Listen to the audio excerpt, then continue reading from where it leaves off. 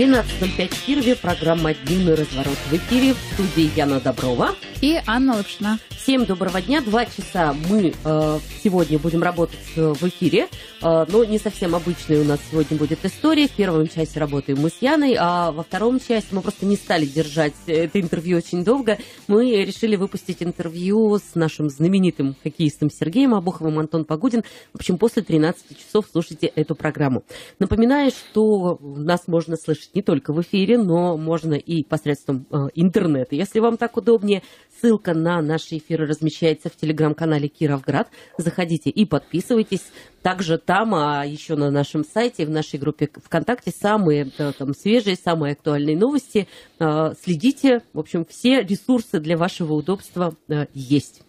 А, тема нашего первого часа, мы сегодня про бизнес будем говорить. А, гостья Наталья Ашихмина, эксперт в сфере земельно-имущественных отношений и кадастровых работ, директор агентства кадастра и технической инвентаризации объектов недвижимости «Актион». Наталья, добрый день. Добрый день. Вот, а зацепились мы за этот вопрос почему? Потому что есть ну, довольно интересная статистика. А, более 200 Э, в этом году э, предприятий малого и среднего предпринимательства создано. Э, в прошлом году почти 400 предприятий, и мы понимаем, что бизнес в последние годы переориентируется в том числе там, на переработку чего-то или производство чего-то. И для того, чтобы открыться, понятно, что нужно соблюсти массу юридических моментов, а, нужно понимать, э, если ты расширяешься, если ты строишь новые площади, как не ступиться, какие есть подводные камни, и об этом мы сегодня с Натальей будем говорить. Давайте, Наталья, мы разобьем, ну так скажем, на сегменты, да, вот э, нашу программу, то есть э, поговорим о тех предпринимателях, которые покупают участок под строительство производства, uh-huh. под производственную площадку, о тех предпринимателях, которые работают на uh-huh. готовой юридической площадке, ой, производственной площадке, покупают уже готовую площадку, либо расширяют дело. Ну, либо площади, либо еще что-то. То да? есть такие три основные группы да, у нас да, получается. Да, да, Совершенно верно. То есть на что, на что обратить внимание? А, так, ну, такое небольшое предисловие. В связи, все понимаем, с экономической ситуацией в стране у нас последние пару лет прямо очень сильный всплеск э, запроса именно по производственным площадям. Это как и по земельным участкам, так и по готовым зданиям, и для расширения площадей, и для новых. И очень радует тот факт, что многие предприниматели, у которых там большие производственные базы, задумались о том, чтобы привести существующие существующие активы в порядок. А, ну, начнем с того, что если вы придумали организовать э, с нуля какое-то какое-то производство, нашли для этого участок, я всегда рекомендую проконсультироваться, сможете ли вы осуществить все свои желания на данном земельном участке. А, учитывая то, что у нас а, в городе Кирове очень такие сложные специфические правила землепользования и застройки, есть утвержденный генеральный план, и поэтому для строительства совершенно новых каких-то производственных территорий в черте города места не предусмотрено и поэтому приходится вписываться в существующие правила землепользования и застройки и как-то с этим работать. А первое, что когда вы нашли участок, надо посмотреть, а, в какой зоне по правилам землепользования он находится и возможно ли вообще там а, размещение тех производственных площадей, которые вы хотите. А, речь идет о размерах этих производственных площадей или, или о ну, видах когда бизнеса, вы покупаете участок 10 угу. соток, ну, соответственно, вы 5000 квадратных метров производственных площадей на них не построите. Угу. То есть, когда вы решили покупать участок, вы должны уже примерно понимать, какие объекты, что производить будете, месте. Насколько а, пригоден участок? Да, насколько пригоден участок, исходя из этого и анализировать. То есть, да, вы убедились, что да, по правилам землепользования застройки подходит. Дальше смотрим а, существующую ну, топографию, запрашиваем в архитектуре и смотрим вообще, какие инженерные сети есть, существующие, несуществующие, очень важно смотреть, какие подъезды. Так как все-таки у нас производственные площади большие участки дробят, ну, взять эту же там улицу производственную, базовую, там ранее существующие предприятия раздробили, и к некоторым участкам, чтобы подобраться, там надо проехать еще там через, через 10 участков. участков да. Да. А, как я люблю говорить, что сегодня вы с соседями кофе пьете в одной кофейне, да, а завтра вы стали кровными врагами, и вам закрыли въезд, и, и можно на вертолете попадать со всеми своими фурами на участок. А, поэтому это один из основных аспектов, которые надо смотреть. А, важно также проанализировать размещение э, инженерных сетей возможность. То есть, если есть существующие, может быть, съемка давно не обновлялась, каких-то этих сетей нет. Важно понимать собственников этих сетей, если они не относятся там к соседнему, вы не знаете, потому что все это нужно будет согласовывать.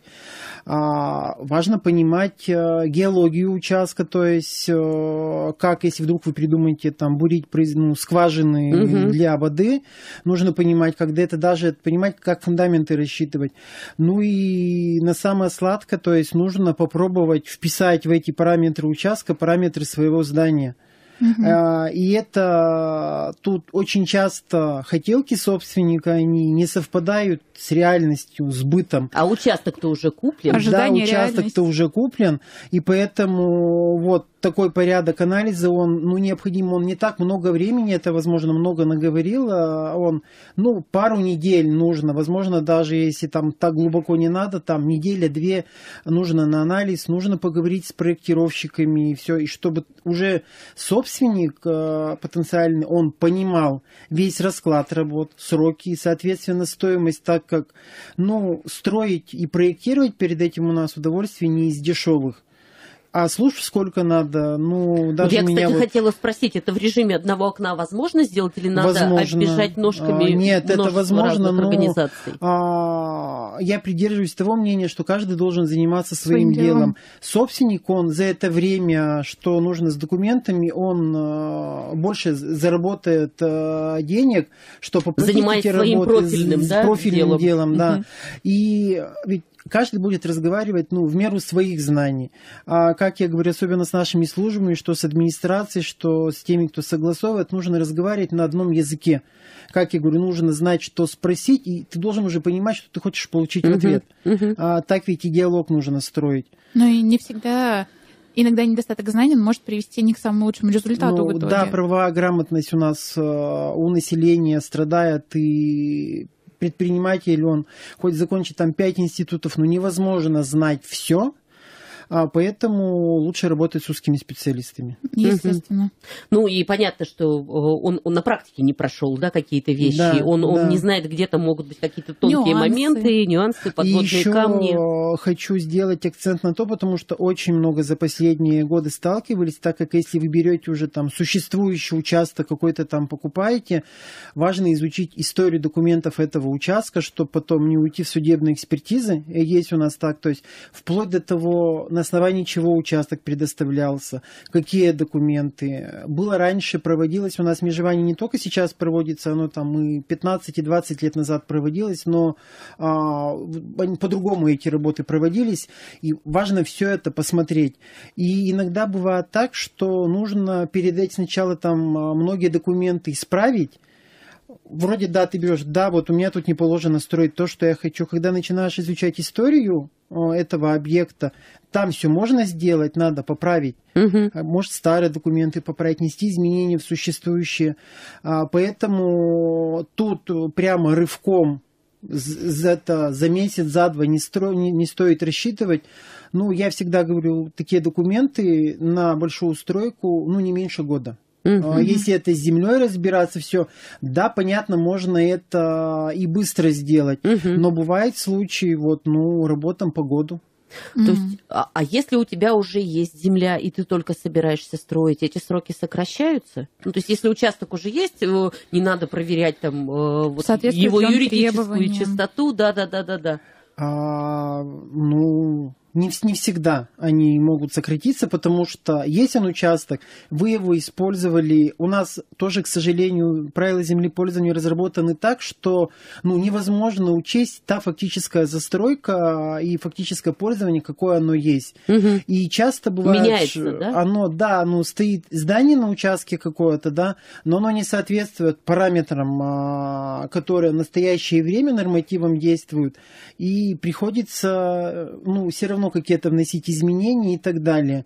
То есть даже если ваш участок собственности и вы будете строить, тут все равно нужен анализ документов, потому что стоял у вас там производственный цех, вы производили продукты, да, грубо говоря, а сейчас будете производить металлоконструкции. Ну, требования совершенно разные А, к производству идут. А может быть, вы просто снесете и будете строить склады. То И есть, тоже еще надо, наверное, понимать, что можно хранить на этих складах, а что нельзя. Ну, конечно, потому что от этого зависят э, нормы при проектировании. ну и в том числе условия проверки, наверное, да, они либо там А, Да. более какие-то А, простые. Да, у меня есть там одна из любимых поговорок. У нас собственники считают, ну, что мое, что то хочу, то и делаю, но это глубокое заблуждение. А, нельзя даже на своей собственности делать то, что тебе заблагорассудится. Все равно нужно соблюдать нормативы. Получается, что у нас э, с покупкой участка лучше не связываться. Нет, почему это не так категорично? Если у вас есть определенные планы на развитие, связываться надо и нужно, чтобы развиваться, просто Мгм. нужно специалистов правильных подключить. Я просто пытаюсь понять, что все-таки выгоднее купить участок и построить под Ну, свои нужды А тут уже помещение или именно каждый вопрос покупать? индивидуально рассматриваться. Иногда и то, и другое, или то, или другое можно сделать быстро, а иногда ну, с обеими вариантами завязывать в документах. Ну а если, например, у нас есть готовое здание, что здесь нужно проверить? Может ли процесс проверки готового здания вот на участке занять больше времени, чем если бы мы начали строительство? А, Ну, тоже начнем с того, что у вас ну, оно здание стоит, есть у него по документам определенное назначение. Если оно построено там в 80-х, 90-х годах, ну, там нормы при проектировании тоже были другие. Но он будет, однозначно он будет быстрее, но кардинально вы точно не измените. Вы из производственного цеха гостиницу не сделаете. Там же есть какие-то санпины, да, вот это вот Да, все, да, то да. есть, не знаю, там А ширина есть- проемов, ну, еще вот, что-то. да, вот правильно знающий человек сказал, что это тоже очень важное требование при организации пожарной безопасности. Как раз ширина проемов тоже зависит. Ну, тоже нужно изучать, то есть делается обследование здания, оно конкретно делается, и там уже со специалистами разговаривают. Если мы э, возьмем какие-то практические примеры, ну вы же, наверное, в своей работе сталкиваетесь, да, Да. Вот с какими-то обращениями предпринимателей, ну на практике давайте разберем. За последний год э, вот мы привели в порядок три такие довольно крупные производственные базы. На одной базе мы отмежевали участок, сделали изыскание, там геологию, геодезию, согласовали все, оформили перепланировку существующих э, зданий, присвоили правильно всем адреса, зарегистрировали новые объекты, стоящие на, на участке. Есть такое понятие сейчас объекты вспомогательного использования, которые можно, а если они ранее построены, зарегистрировать без разрешения на строительство, не проходя вот эту всю как Это как это, дачная амнистия камеру. похоже, да, ну, на это, промышленная амнистия, так ее в Мгм. узких кругах называют. И вот сейчас э, заканчиваем работы по реконструкции существующего здания. Другая база, вот есть здание, оно в долевой собственности находится, да, но очень сложно работать и согласовывать все, когда у тебя доли. Мы это здание разделили по помещениям но они получились плюс-минус одинаковые площади, и, соответственно, у одного собственника одно свое помещение, у этого, ну, доли на землю зарегистрировали. Бывало ли такое, что приходилось заказчиков отговаривать от каких-либо работ на Конечно. участке? Вообще я сейчас вот слушаю Наталью, понимаю, что на самом-то деле э, надо приходить э, к специалисту не в тот момент, когда ты уже купил здание либо участок, Правильно. а на старте, еще Когда когда, ты только думаешь. задумываешься об Да. этом, то есть надо идти и говорить, что вот я там присмотрел такие-то, такие-то, И такие-то главное, варианты. ну, как на исповеди. Мгм. А, все сказать, то, что вы хотите Все с ним предельно сделать. честно. Потому что мы в процессе работы, ну, не я одна работаю, можем порекомендовать и просчитать то, что дальше у вас возникнет с объектом. То есть мы уже рассматриваем же документы с точки зрения там, а, проверки каких-то существующих организаций, особенно когда там идут там торговая площадь или что-то. Ну, можно вот мы там с хитрину вот, ну, сделаем так, а использовать будем по-другому. Никто же не узнает. А какие последствия? Да, да, никто не узнает, да. Кроме того, как мы сейчас расскажем все об этом.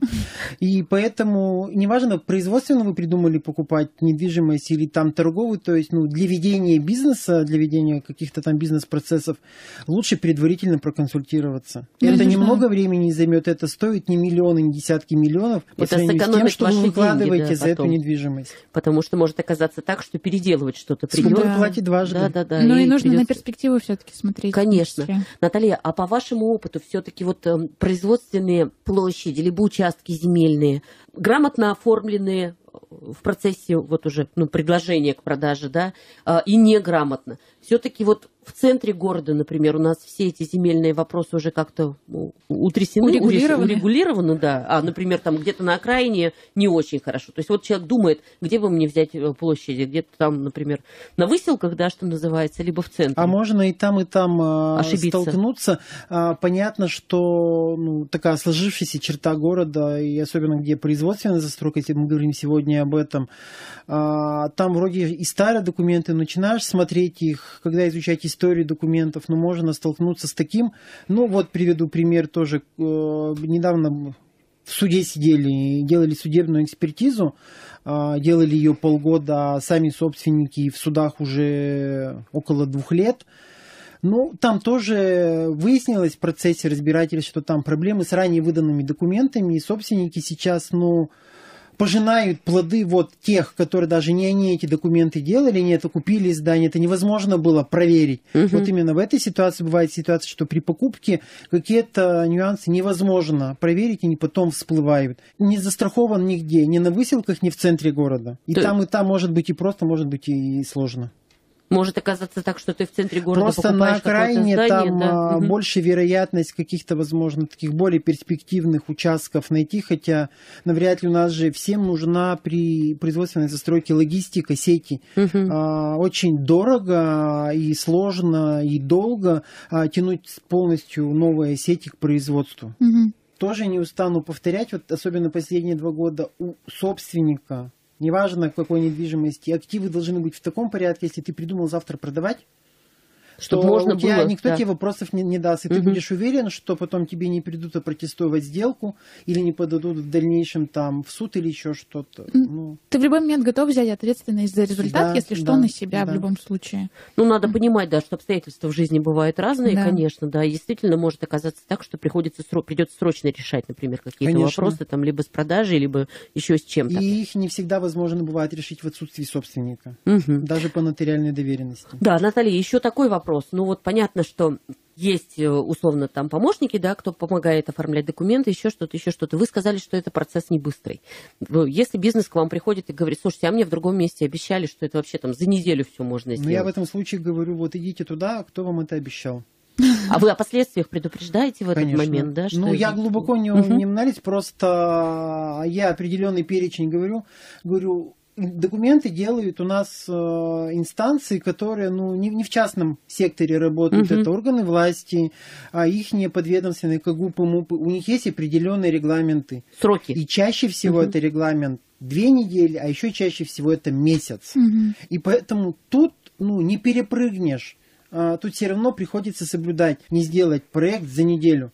Потому что ты только будешь месяц э, даже в быстром темпе собирать документы. как И изучать минимум. все, да? Да. Мгм. Ну, многие, когда я придерживаюсь того, что как можно больше процессов запараллелить на одной организации, потому что можно запустить эти процессы параллельно. Развезли все документы по согласованиям, в это время там изыскание делаем, с проектировщиками работаем, то есть многие процессы идут параллельно, и не надо ждать одной конторе, пока сделает это, это, а я вот уже могу делать, например, только на основании вот тех. Это И я становлюсь так, заложником бы. ситуации, и, соответственно, уже это и договорные обязательства могут быть каким-то образом нарушены. Угу. В общем, всех, кто задумывается о производстве, о старте бизнеса, расширении своего бизнеса, мы призываем быть максимально внимательным к документам, а, к сотрудникам компаний, с которыми вы потом будете работать, обращать внимание на какие-то важные а, моменты, подводные камни, помнить о том, что в Кирове, наверное, как, как много где, да, там менялось законодательство и постоянно меняются да, какие-то нормы и правила, учитывать этот момент и не торопиться. Ну, не да. торопиться, Потому что... А, и хотелось бы в заключении добавить, ну, мы постоянно анализируем обновление законодательства, и вот в следующем а, году вступает, если не ошибаюсь, в сентябре ну, неважно, в следующем году, а, в силу нормы, которую мы как специалисты ну, ждали давно. А, сейчас э, не будут подлежать сделкам со следующего года участки, которые ранее не проходили процедуру межевания. Угу. То есть при коммерческом использовании это уже редкость, но мало того, на неотмежеванных земельных участках нельзя будет зарегистрировать новые объекты недвижимости.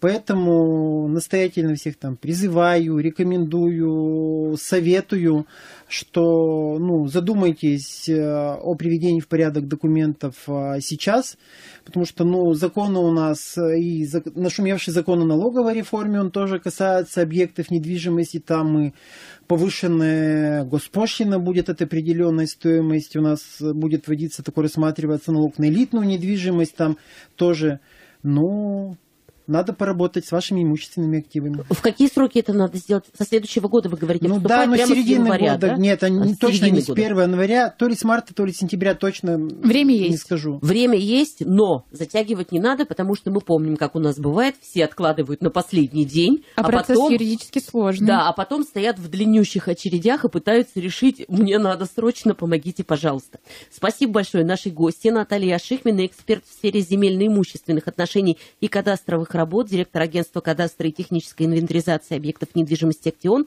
была у нас в студии. Наталья, до новых встреч. До, до новых свидания. встреч. Всего доброго.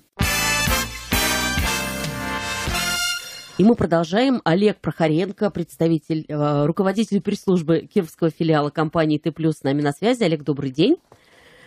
А, добрый день. Слышно ли меня хорошо? Ли а, слышно, слышно, но можно немножко погромче говорить, а так вроде бы все хорошо.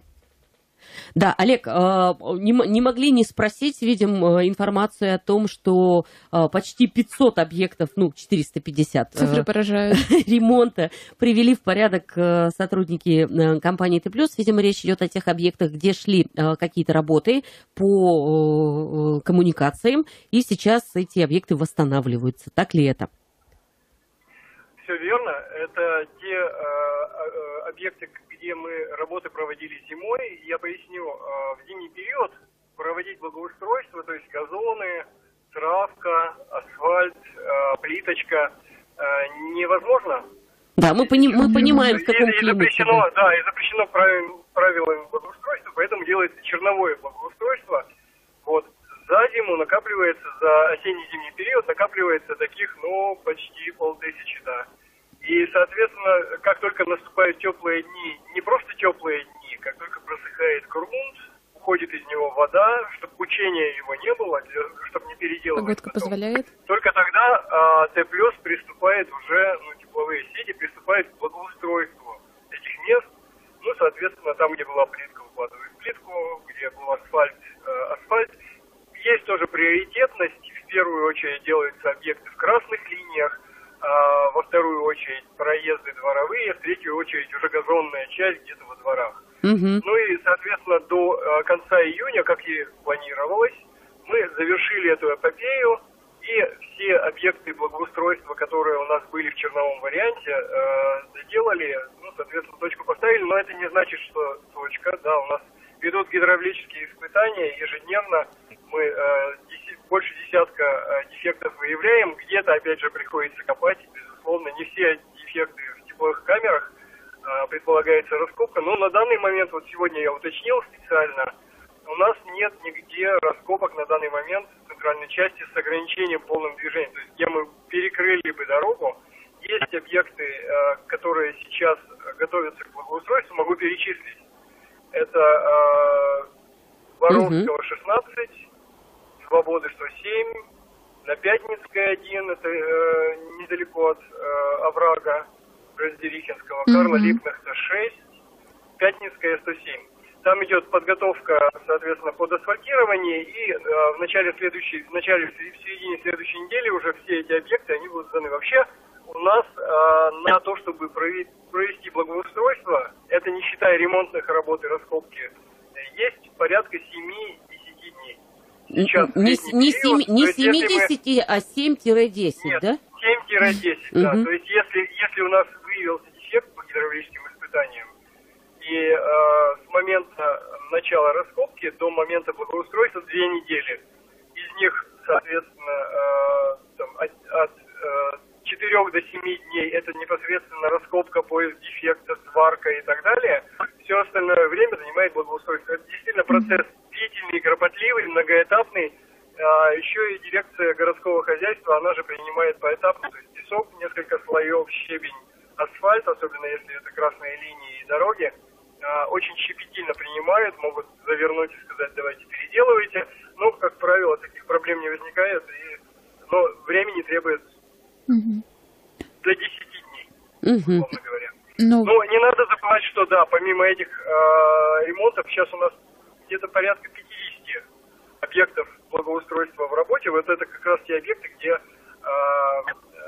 проводились ремонтные работы по гидравлическим испытаниям, и в той или иной стадии они находятся. Где-то только еще засыпка осуществляется песком, где-то щебень, а где-то объекты, которые я называл, уже э, там асфальтируются. Ну, как правило, это все-таки дворы. Да, то есть э, вот э, на, в центральных э, частях города, в красных линиях, это те объекты, которые я назвал, там, где уже асфальтирование и есть сужение mm-hmm. дороги или тротуар нарушен или что-то еще. Вот, и у нас еще 32 объекта же реконструкции в этом году. То есть, да, да, же, да, да, да. И там вы тоже, и там вы тоже копаете. Год юбилейный, мы постарались нигде там на магистрали не заходить, кроме одной улицы. Вы, наверное, знаете эту улицу. давайте, давайте напомним. Да, улица Карла Маркса от э, Комсомольской до Азина, э, до Блюхера. Ага. Вот она как раз до конца октября по договору у нас э, перекрыта. Вот. Ну, соответственно, к началу отопительного сезона все трубопроводы будут смонтированы, благоустройство максимально сжатые сроки проведены. Но по договору э, подрядчик обязан нам до конца октября сдать, возможно, сделать раньше. Подрядчик хороший. Mm-hmm. Вот. А э, так на остальных объектах, 7 объектов уже практически завершены, уже с благоустройством. Э, где-то э, там в финальной стадии, где-то монтаж, где-то демонтаж трубопроводов ну, как, как бы то ни было, там каких-то рисков, опасений, а, недобросовестных подрядчиков мы, по крайней мере, не допускаем, которые у нас проштрафились в предыдущие годы, поэтому должно быть. Олег, я хотела спросить, я, насколько помню, вы в этом году действительно не работаете в центре города, да, вот по крупным таким проектам именно в связи с тем, что год юбилейный, то есть вы ушли так на, на периферию. А, из-за этого в следующем году нам ожидать каких-то масштабных работ именно в центре? К чему готовиться? Ну, безус, безусловно, я сейчас не назову, потому что э, сам план, он до осени будет еще варьироваться, меняться в зависимости от финансирования, от при, приоритетности, где у нас наиболее слабые трассы будут.